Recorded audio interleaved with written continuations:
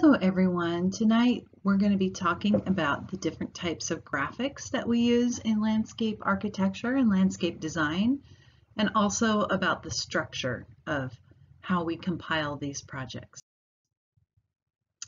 So first of all, why do we bother to go through all of this difficulty in creating this graphic communication? Um, we talked about last session that this idea of having this idea of design and then putting it on a two dimensional piece of paper, handing it off to someone else, and then having them interpret our design and actually build a three dimensional space is kind of fraught with um, things that can go wrong. Um, and I really like this example of something that can go wrong. Um, in the Western culture, we do tend to use plans to build. In other cultures, they don't. So for those of you who might be familiar with the industry, um, you may know that we tend to cloud areas of our construction drawings that have changes in it. So the contractor can look at each page and identify where a change has been made. So for example, in the little graphics clip above, um, it looks like kind of a kitchen. Um, it could be like the uh, legend for maybe that stove has changed and so the designer has clouded it. Um, the picture below is actually what happened when this was installed. Um, this is actually from my colleague who worked in China, which is not typically a culture that builds off of our Western style of plans. And so when the contractors in China received those graphics, um, they thought that they should cut out a portion of the slab in the floor above them, and they did a very careful job, meticulously cutting out a cloud above the kitchen. Um, so those are the things that of misinterpretation that can happen when you're maybe dealing with an area that isn't used to reading plans. But for the most part, we go through plans because in Western culture, we resolve conflicts and problems on paper before they're actually built. And I will attach a kind of just a funny clip of construction things that go wrong.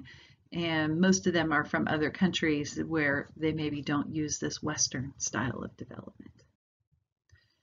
So hand graphics um, are used in the profession and generally today we use them really for conceptual work, might be for internal team communication. Sometimes we do hand graphics to present to clients. Um, some clients really like a hand-drawn graphic style. Um, there's definitely a more artful feeling to it. They also um, have told me that they don't feel locked out of the design process. Sometimes when they see very formal computer graphics, they feel like the design has progressed so far that they no longer have the ability to chime in and contribute to that.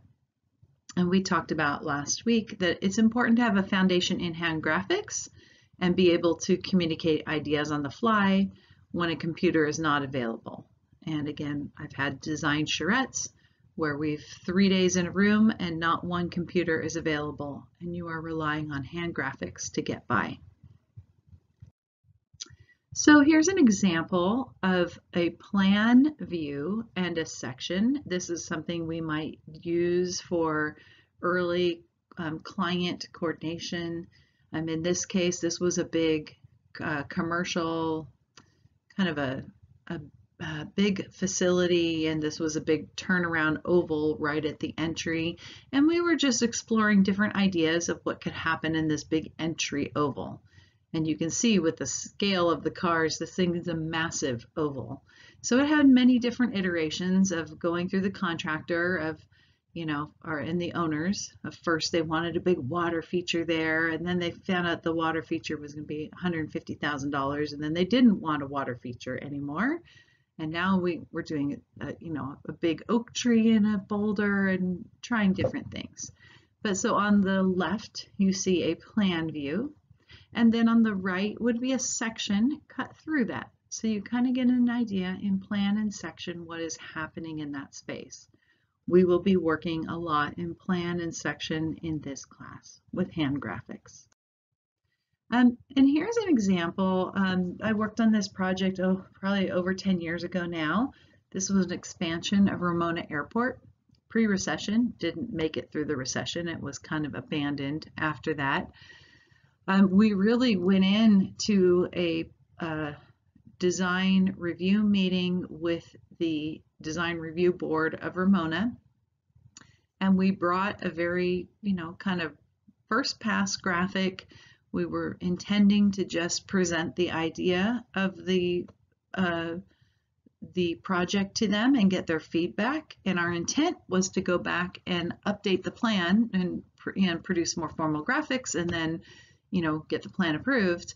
And it was interesting because this was enough that the community loved it and they voted unanimously to approve it. And so that was a win for the team and for us, made us feel pretty good.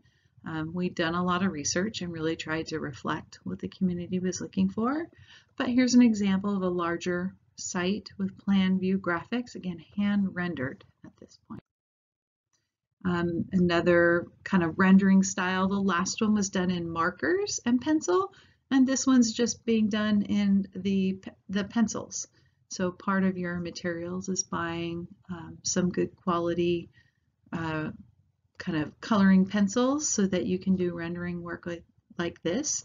Um, this particular firm that I worked for years ago has a really artful rendering style and they always render in pencil. So I think you'll find that different offices have different graphics that are uh, identities to their to their office and some work uh, in hand early on and then switch to digital some work in digital all the way through, and you as a designer will ultimately have to adjust to whatever the office standard is. And then we have a bunch of different types of computer graphics that we produce. Um, for my world as a landscape architect, we tend to mostly work in computer graphics.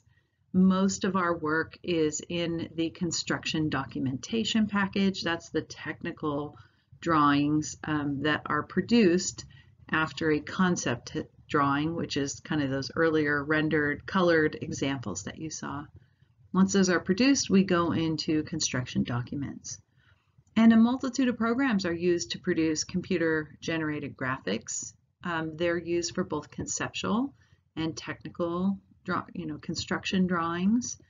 Um, right now, the industry standard for technical drawings is Autodesk AutoCAD. Um, and that's going to be an important uh, program for you to learn if you're planning to work in an office. Um, they are going to have AutoCAD tests these days and see how proficient you are. It is a really difficult program to learn, so don't get frustrated, um, especially certainly if you're taking it this semester. Um, I know it's being offered uh, remotely. It is a very heavy engineering program, it is not all that user friendly. So I, there were lots of tears involved when I had to learn AutoCAD many, many years ago. Cost can be a factor for these programs. They tend to be pretty pricey. So here's an example of, these are planning graphics. Back in the day, um, we were involved in a new development that was being proposed that at the time was called the Eastern Urban Center and today it's called Millenia. So it's kind of fun to see it um, going in the ground. I actually live in Chula Vista, so I drive by it all the time, and it's just been quite an adventure to be involved in, in some of the master planning of the villages um, early in, in the day before it was all built out almost. Um, and in this particular graphic, what we were trying to show is that the development is a smart growth kind of center and then we were locating where other smart growth centers were around the region and also the context to Mexico to cross the border. So um, this particular graphic, we used Geographic Information Systems and Photoshop to create this one. Um, here's a community development park plan. So um, in, for the firm that I did this work for, we always did our conceptual graphics um, in the computer. So very time consuming, um, but we were working primarily on big kind of community development projects, big, big expensive uh, projects to, for clients to pay for. So that, that was in the budget to do fancy computer graphics. Um, this was kind of for central green park. This again would be a plan view development.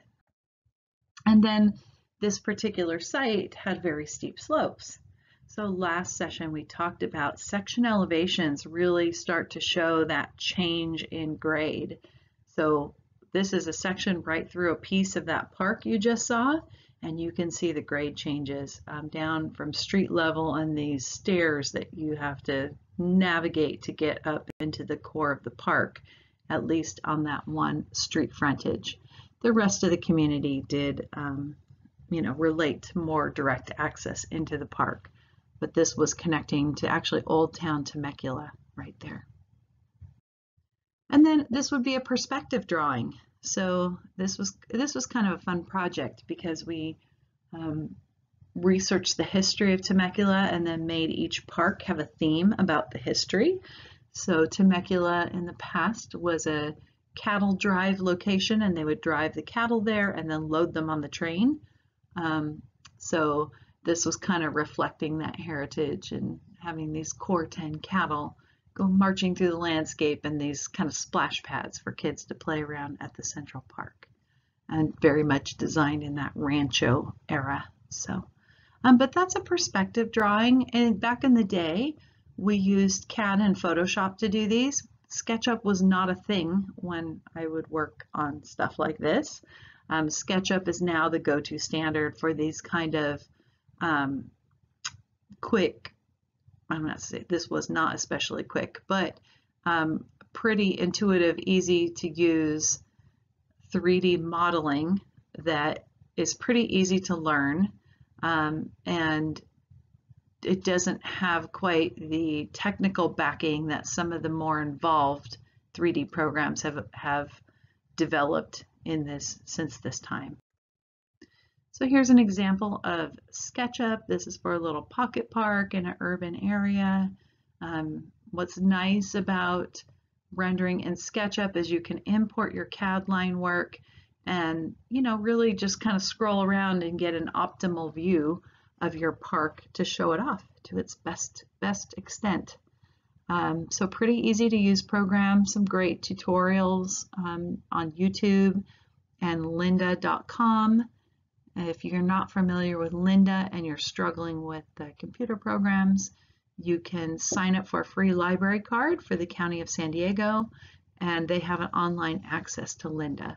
Normally it's about 30 or $40 a month, but lots of SketchUp tutorials on lynda.com. And then current day um, building information modeling like Revit, or Civil 3D are primarily being used at the professional level for 3D renderings. And that's because every team is building their models and then they merge all their models together and they can run checks on the program. And it might identify if pipes are like going through a structural beam. So a lot of those problems can be resolved before the project's actually built. And that's why a lot of um, municipalities and uh, agencies are requiring the team to be working in building information modeling. So here's an example of a construction plan. Um, I had the good fortune years ago to work on the Elephant Odyssey project. So this is an example of the construction plan from that. So this would be the technical working drawings where we're telling the contractor how to build the site. Um, here are some sections. Now these are construction sections. In this case, this is through the different pools uh, that the elephants use um, and showing the kind of depth of the pool and where the thickness is of the kind of shotcrete edge would be. Um, here's what we call some details. So um, a couple cross sections of the pool, but also these little drinker um, features where the elephants there's water piped into them. It's like they can go and get fresh water. Here, a lot of you might have seen the little baby elephant in the paving. I hear that a lot of people like to take pictures with that. So um, I worked on that concept early on. And this was actually supposed to be a little water feature, but it got too expensive to build, so they cut the water feature part out of it. So when we think about designing, it's really a design process, and there's a series of steps or actions used in making making that happen. So you can have natural processes like like photosynthesis or erosion, and then artificial processes, which are buildings and mining and things like that. So design process is critical.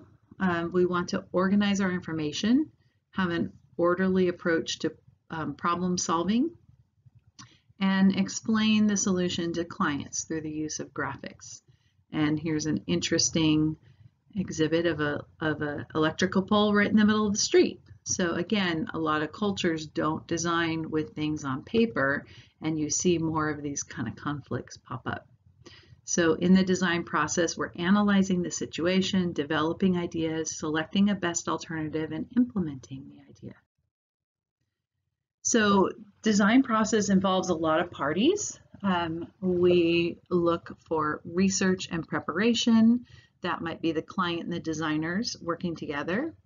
Then we as designers lead the design, or hopefully we lead. Sometimes the clients are a little bit too involved in that, but you know, just work with that personality.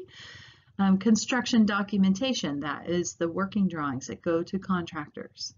Um, implementation, the designer's working with the contractor to actually build it. So lots of processes involved in um, back and forth communication. Um, maintenance is like post-design, post-installation. How is that um, design? How's, how are the plants establishing? How are the materials holding up? So hopefully you as a designer get a chance to keep revisiting your sites and seeing which plants are performing well, which materials are performing well, and being able to constantly kind of update your library of design to pick materials that are going to hold up well and plants that are going to do well. And there's always hopefully an evaluation process. And hopefully that's between the client and the designer, kind of at the end of the project. So um, when we're getting ready to design, we're going to do some research and preparation. We might meet the clients. Um, they'll probably ask us questions. We'll ask them questions, um, show them our portfolio. We might give them a contract, which includes our scope of work, our schedule of deliverables, and the cost of design services. We might have to prepare a base plan. Um, if we're on a smaller project and we don't have a surveyor to give us a, a survey, we might have to create our own base sheet. So we might have to measure our site ourselves and create that document so that we can start designing. We're always going to conduct a site inventory, and that's going out to assess the site conditions, what kinds of regulations um, that might be uh, impact the site, like uh, is there ordinances from the city? Are there local guidelines for the community? What's the character of the community? Are we going to try and tie into that? And then we might develop a design program, which is really listing all the requirements and it's kind of like making sure it's like a checklist. You know, are we um, hitting the wants and needs of our client and us? So early on in the design process, we work on functional diagrams, our bubble diagrams, our Lynch diagrams. These have a lot of names. These are really freehand bubbles that show the relationships of major spaces and elements within the design no drafting here. This is all freehand, very loose. We will work on this skill in the next coming up soon. Um, but a key skill to kind of get us started with the design process. Preliminary design, we're kind of roughing out our design, converting those bubbles into forms and outdoor rooms and general shapes, um, and starting to, to, to get our what materials we're going to use, what plants we're going to use in the spaces.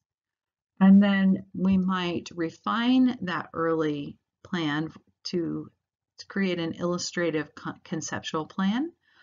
Um, and that's usually at the single family residential, this might include plant materials and hardscape materials because at the residential scale, single family residential, a good contractor would be able to take a drawing to this level and be able to build it. So many times at small scale residential, you don't have to go beyond this into the full working drawings like I would normally do for my projects. construction documents are what um, my office works a lot on. We tend to work on bigger projects. We don't take a lot of single family residential. Uh, on rare occasions we will, either because the project is interesting to us or, you know, it's a friend of a friend or somebody that um, that our former client, we had ones, a former client's house burned down in one of the fires. We were already working with them. So again, it's not my realm. I feel like I like to focus my education on you guys and not necessarily educating each homeowner I come across. So I find it education intensive. And so I tend to focus on bigger projects. So we tend to produce construction documents and these um, tell the contractor really how to build the project. So um, I am a design only firm. Uh, that's what I own.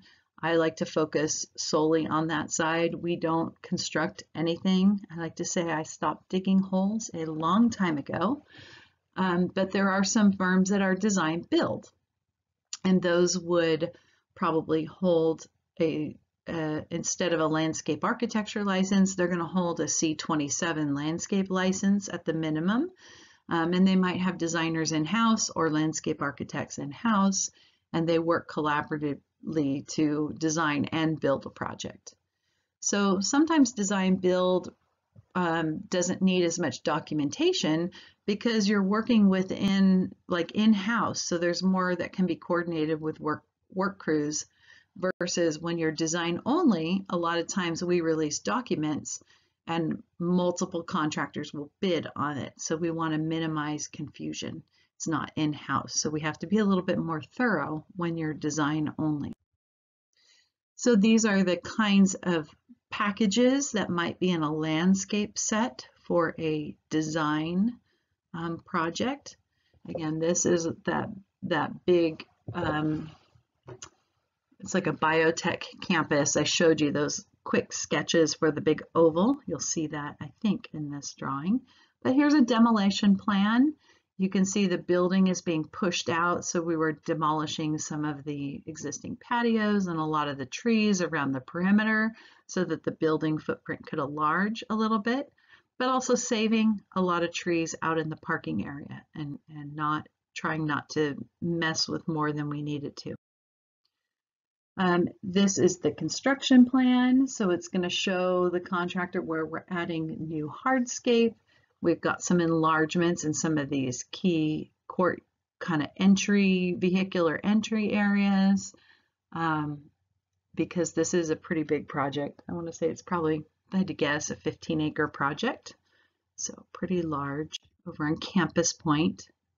So here's what that final oval became. It just became bands of planting and rock in there, but you can see we've got the paving pattern all demonstrated and some of the different details for planters and things that went in there. Here's just some details on wall screening. So we had a big um, kind of the plant for all of the air conditioning. And so we had to screen that wall because this conference room came out you know, and looked at this ugly service yard wall. So we tried to make that a little bit more attractive. Um, irrigation plan. So that's important in our region where we have to add supplemental uh, water to keep plants alive. And a planting plan. So all the new plant material going in. Again, you can see we're trying not to disturb the parking and really just add the new pockets around the perimeter of the building. So construction and implementation, um, for me, we generally, our clients would release the package and put it out to bid. Sometimes we're, uh, as a designer, we're, uh, we're the representative to our client to oversee the bids and recommend a contractor, kind of making all the bids apples to apples, because you get apples to oranges when they come back, and then you've got to go through and see what's this person's including this, and this one's not including this, and they're going to substitute this. So trying to get more of a um, comparison. Um, construction is actually the building of those hard elements. Implementation might be building softscape. These are nebulous terms.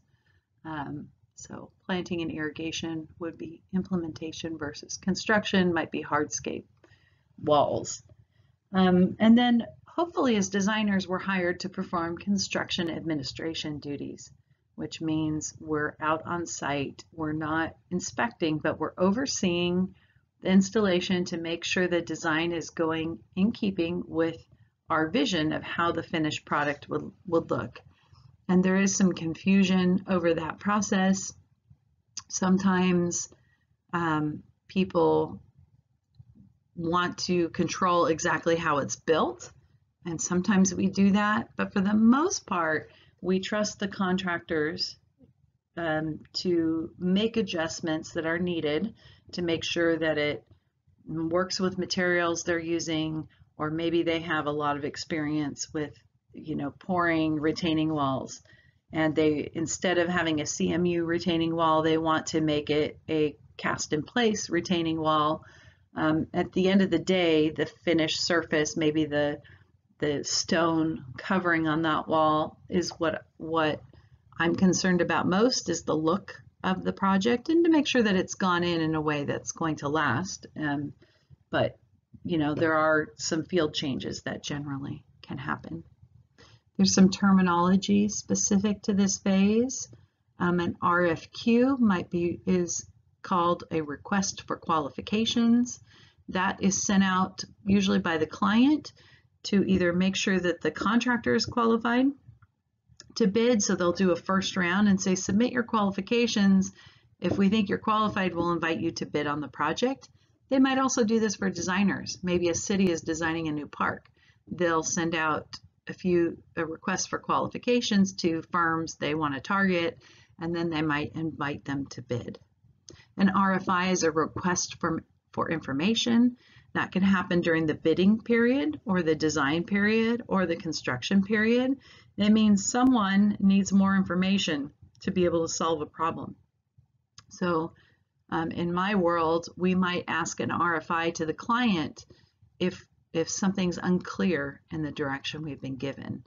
Um, but a contractor could also ask us designers an RFI if they find maybe our plans, um, maybe when they started to dig the irrigation, they hit a big utility um, that was very shallow. And so they can't implement you know, maybe there's a wall footing that will conflict with that. So they might ask us, what are we going to do? Help us. Here's your RFI and help us redesign this area so we can actually build this. And hopefully the contractor is in communication with the designer to ensure questions and concerns about the projects are answered. I always tell my students, you, you want to get along with the contractors um, most of them are very, very knowledgeable at what they do, and they build things every day. Um, so if there's a problem with your design, you want the contractor to feel confident that they can call you up and have a discussion about their concerns. Um, so be nice to your contractors and try and answer them quickly because they're out there on very short timelines. So that's really important to contractors that things not sit for weeks and weeks and weeks and weeks. Maintenance is the last piece of the puzzle. Unfortunately, we're not involved in aftercare as much as we should be, but this really affects how a site looks for the long term. You can have a really beautiful site that's poorly maintained and it's going to look like garbage, or you could have just a mediocre site that you designed that has really wonderful maintenance It's going to look stunning. So um, hopefully you get the opportunity to be involved in maintenance, but you know, a lot of these, these topics are things that we look at if we're invited back to see the project. And then ongoing evaluation. So looking at the project and making sure it is maturing um, how we intended to. Um, I'm looking for how are the materials holding up? Are the plants growing well? Is it functioning? Those are all good to circle back and, and learn from each and every design. Okay, so we're going to be working a little bit on scales tonight, um, and we're also going to be doing line weights for our lab, our assignment. So projects are typically drawn to scale. We talked about this a little bit last week. So we want to make sure that there's an accurate um, proportion. Um, and I would say this is not accurate proportions. Like all these little plant symbols are the same size. Now, it could be that they're all the same size in reality, or it could be that they've just drawn the symbols the same size and it's not reflecting their mature size. We always want to reflect there's our plant material at, at nearly full size. I generally draw at 75% of full size um, to make sure that we're not overplanting an area. So we have um, architectural and engineering scales we will use in this class. So here's an, an example of architectural scales is it's got the fractions on the edge. Um, and what this means is at 1 8 scale, every eighth of an inch is equal to a foot.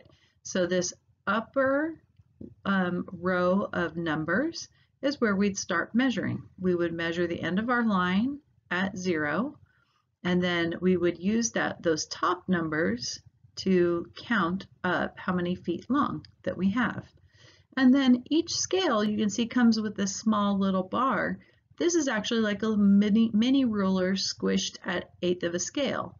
So I could measure to the nearest inch at this scale with this little graduated um, mini ruler. So at a, um, architectural lays two scales, one on top of each other on the same blade. So if you were to slide all the way to the other side of this, right, you would see quarter inch at the top. And you would see where the zero is, is the lower string of numbers. So you would line your line right up on that zero, and then you would use these to count how long your line is. If you weren't ending on exactly a foot, then again, you have a little scaled ruler to use to get to the nearest inch. Engineering scale is a decimal system, not metric, but decimal. So we still use feet, but it is in factors of 10.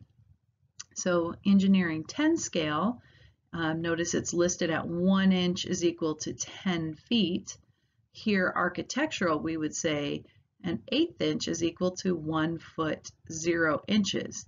So we are showing that we are measuring to the nearest inch engineering, we don't have the ability to measure to the nearest inch, so we generally don't show them. So here's the blade that is labeled 10. This would be our 10 scale. And each of these, one inch is equal to 10 feet. So that's about an inch right there. And if I had a line that went all the way to here, it would be 10 feet. Now it's not marked with a 10 because this is a decimal scale. So if I wanted to measure at a 100 scale, I would have to add, I could say one inch is equal to 100 and I'd have to add two zeros. If I'm measuring at 10 scale, I would say um, this is 10 feet, right? So I just add one zero. I could measure at a thousand scale, which means I would have to add here three zeros onto the end of it. So that's the decimal component of engineering. And so at 10 scale, it's breaking up this inch into 10 pieces. And so I could put my line right on the edge of the zero and measure all the way over to whatever feet that line is. Each of these hatch marks would become a foot. Okay, and if you've grown up with the metric system, and I'm, and I'm confusing you by references to inches, I apologize in our assignment today, you'll have a little bit of a conversion, but know that one inch is equal to about 2.54 centimeters. Okay, and then if we're going to draw shrub symbols with our new shiny circle template, um, we are going to use our scale or our ruler to find a circle that's about the right size of a di diameter shrub. So if we're drawing at eighth, eighth inch scale and we want to draw a three foot diameter shrub, that would be three one eighths of an inch for each foot. One eighth plus one eighth plus one eighth equals three eighths in diameter. So we would measure which circle on there equaled three eighths of an inch. And that's what we would use to draw that shrub to scale. 24 inch canopy tree would be drawn as a three inch diameter circle. So it's 24 eighths, eighth inches when we get to three inches. So you can, um, if you're doing a planting design, you can kind of draw your hardscape in and then start just roughing your different plants in um, and fitting them into the landscape at their mature size or 75% mature size. And, um, oh, let's go back. I'm not going to go back. Um, and then that would prevent us from overplanting. And then at the we also, as part of our drawings, we might include title blocks. So they these title blocks identify relevant project information like the name, the project, project name, project address, who's the design firm or the and the designer working on it, what's the date of the design, uh, the project number, if there's a project number from the city, and a licensure stamp if it's applicable.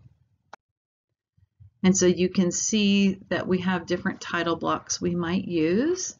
Um, this is our course title block, so we'll talk about that in the future. We'll, you'll get very familiar with this. Here's kind of a construction package.